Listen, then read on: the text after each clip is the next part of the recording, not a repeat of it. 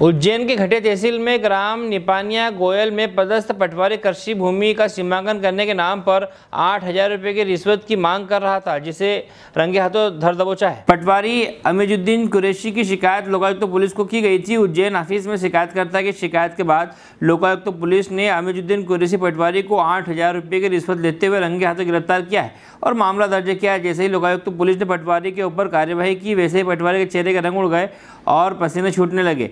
उज्जैन से वीरेंद्र शर्मा की रिपोर्ट।